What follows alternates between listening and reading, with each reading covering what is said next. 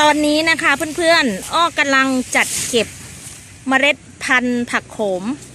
อ้อก็เลยจะให้เพื่อนๆ มาดูพันธุ์ผักโขมสามชนิดในสวนนะคะ ผักโขมตัวแรกที่จะแนะนำค่ะ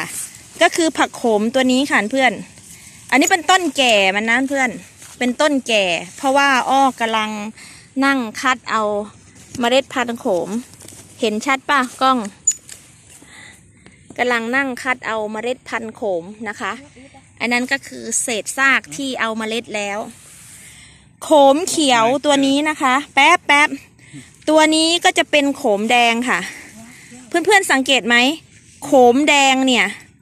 ก้านแดงใบแดง ยิ่งถ้าเป็นใบอ่อนๆช่วงที่มันยังไม่แก่จัดนะ มันก็จะแบบแดงเถือกเลย แดนยังก้าง แดงทั้งก้างชัดเจน โขมเขียว ส่วนตัวนี้คือโขมยักษ์ค่ะเพื่อน นี่คือโขมยักษ์นะ แล้วมันจะมีโขมหนามอีกตัวหนึ่งแต่ว่าในสวนอ้อไม่มีโขมหนามไม่อยากปลูก ปลูกโขมหนามเจ็บมือ ต้องใส่ถุงมือทำงาน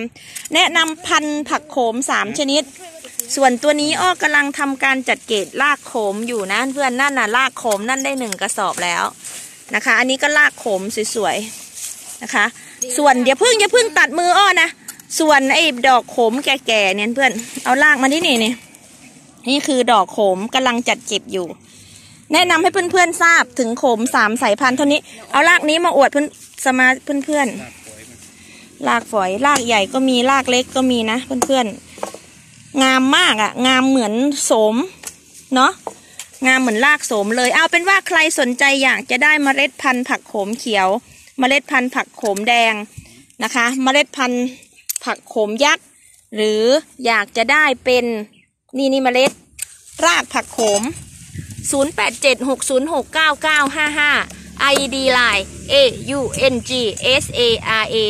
09อังสรา 09 กับรากผักโขม ขอบคุณค่ะ สวัสดีค่ะ